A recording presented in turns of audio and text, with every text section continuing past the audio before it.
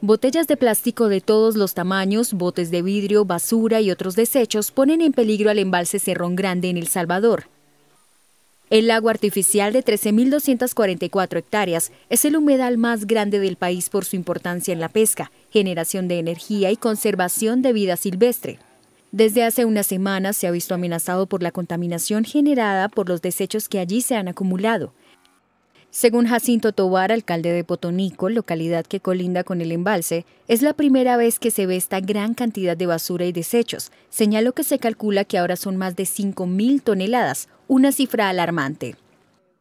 El municipio liderado por Tobar es el más afectado por la contaminación, ya que la principal actividad económica en el lugar es la pesca.